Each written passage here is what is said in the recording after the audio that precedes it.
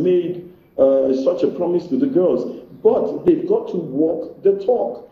And of course, there's technicality involved. Like you need to get the players in camp, you need to train them, you need to give them into the basics because this is a developmental side that is supposed to take over from the uh, from the Super Falcons. How many players are we seeing today that are being built up? I mean, those days you could call Nigerian players, uh, and Epo and the likes of them, and you will see the skills and the talent that they displayed. But if you see in our teams now, basic technical skills are sadly absent. And you need to have them in camp to be trained properly. So these are the issues that are wrong with female football. And look at the league. If I remember last time, how many of the teams could even honor matches? Most of the games were walked over. So we've got to really seriously look down and see are we really serious about our female football in Nigeria? Mm. It's a yeah. huge question. Yeah. Big, big question. Obviously, uh, there's a system problem right there that has to be fixed. I'll take you back to the Falcons. You sound very confident uh, because uh, you say on paper they're the best side, they've got the best players. But if you look at the preparations and the, the, the consensus out there seems to be that uh, it hasn't been good enough. Do you think that's going to affect them, you know, when the competition starts?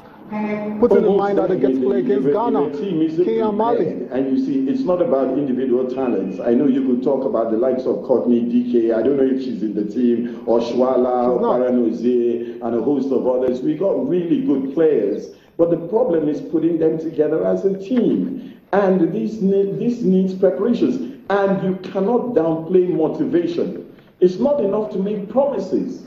People need to, footballers, I, I, I run a club, I know what it is. 90% of getting the best out of players is motivation. And when the players are not motivated, it's not a promise thing. It's, it's a let's see. And over time, when you don't have the money, trust is built. Do the players have confidence and trust in the NFF? Do they have trust in the government of Nigeria? Do they have trust that Nigeria is behind them? If anything happens to them, are the players insured? these are basic things that Nigeria as an economy has the capacity to do, but somebody needs to sit down and get some work done. So if you look at the Falcons, that's why I said on paper, they've got the talent. It's undeniable that Nigeria easily has the best talent possibly in the world.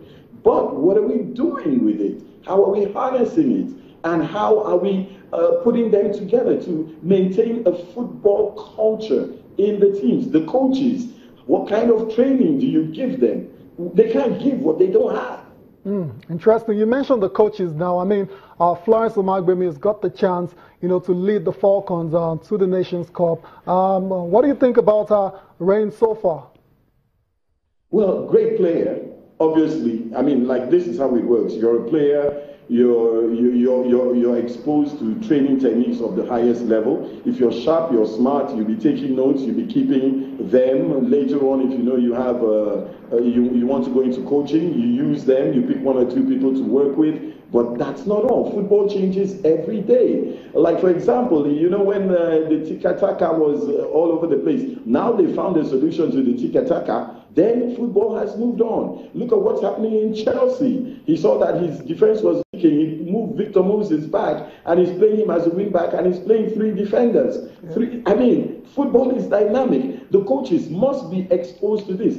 Before tournaments, do we send them on training programs? What, do we have a relationship with any a sports body out there that are coaches? Do we have a production line of coaches running and coming through? I mean, look at the Super Eagles. Same players, different coach. Okay, so it, it tells you a whole lot about it because uh, well, yesterday when I was listening to you, you talked about the fact that, look, I mean, this is a lady, it's going to be her first, I mean, let's say her first international game with the Super Falcons. She took them through the qualifiers and, of course, they qualified. And she didn't even have a friendly to look at her team. The only thing she was able to get was playing around boys and some other local team. I know that there was no big test for her. For her not having that experience to look at the team at all. So it seems whatever game she's going to play against Mali will be like more like an international first game, like what happened to the Falconets. No, can she actually exactly. surpass this hurdle? Can she can she get something out of it? You know, there is also something in football. There is always in Africa. There's a fear of Nigeria, okay. especially when it comes to female football. So when you get on the pitch, it's about 45% done. Psychologically. But after the game starts and the people realize that, hey, these guys are not so great after all, they're not so super after all, then the pressure is going to come. And that's why you find out it's preparation that makes most of the times Nigeria loses heavily in the first games of the tournament. Because that first game is always like, I mean, that's like the training that they never that they never had. So uh, that's what always happens to them each time. So quickly they are in match mode. By the second game, everybody runs together. The psychologist comes. Everybody runs and talks and this and there's pressure. And all of a sudden there's motivation somewhere. And the Nigerians dig deep by sheer force of character. But like I say, you can do this up to the quarterfinal stage. But when you get to the semi-finals, then the journey starts. It's Africa. But the thing about Africa is that Nigeria should have long gone past Africa by now. We've dominated Africa for so long. What have the Falcons been able to achieve on the world stage, at the Olympic stage? That is where Nigeria should be looking at now. But we're just struggling to remain at the head of Africa. Hmm. Okay. Look at the records. Look at the records. yeah. See where Nigeria has been. It, it's, it's, just a shame. Hopefully, we, we, can actually make it better with the committee and everybody set up. And uh, Amaju Pinnick assuring the girls is going to treat them like champions. We just can't wait for their finances to improve so they can do that. Thank you so much, Maurice, for taking our time to talk to us this morning. Thank you, guys. It's always a pleasure to talking to you guys, and you guys are doing a great job as usual. Thank, Thank you. you.